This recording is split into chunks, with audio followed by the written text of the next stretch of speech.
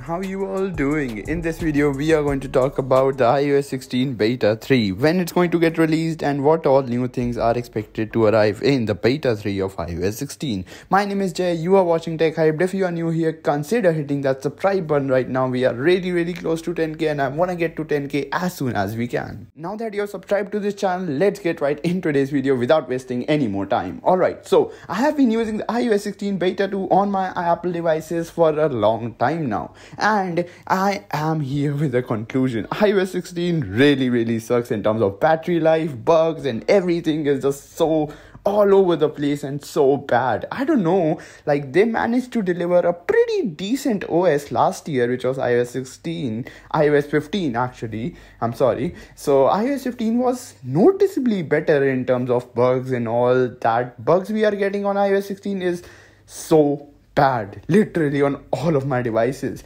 On my iphone 12 i have seen so many these springs just randomly and there has been so many times when my device just stutters so much as if it is an iphone 7 literally. Also just a quick update. I managed to get my iphone 10r broken. Yes my mom did it. My mom managed to just throw this iPhone 10R from the window and this was a 12 feet drop. It managed to survive. Of course, it looks really, really bad and really, really fucked. Actually, it does all the things and I can still use this device and um, it basically it can be used as a device to record videos and make uh, iOS 16 beta reviews. Oh my god. It is it looks really bad. It's in a really bad shape but i'm pretty surprised how in a 12 feet drop where even the aluminium managed to just break there is lcd which is working fine and the screen is also not exactly really really bad condition. It is in bad condition but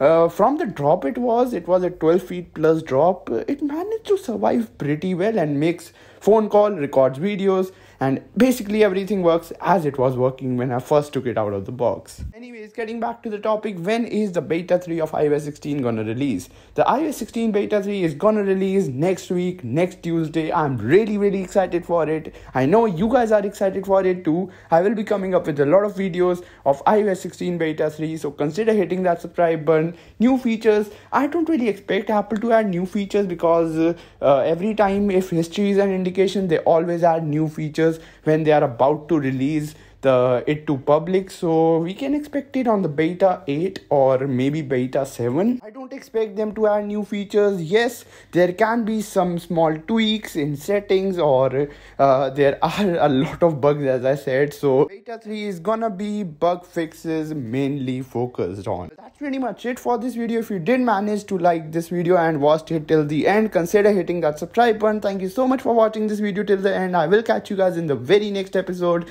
I know you guys guys are excited for iOS 16, so am I. Hit that subscribe button. We are so close to 10k. Let's get it. Thank you so much for watching. I will catch you guys in the very next episode. Peace out.